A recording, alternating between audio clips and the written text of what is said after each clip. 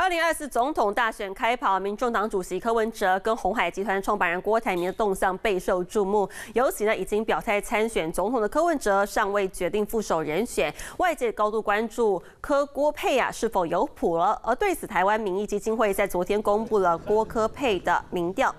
根据民调显示呢，有百分之三十三点六的民众乐见柯郭配，但是有百分之四十九点六不乐见。另外，不知道跟没意见的分别占了百分之三点一跟百分之十三点八，其中不乐见的比例接近半数，而且比起乐见的多了十六个百分点。台湾民意基金会的董事长就认为，这样的民调结果相当程度反映了目前整个台湾社会的氛围，近半数的人对于呢柯郭配都保留了一种态度。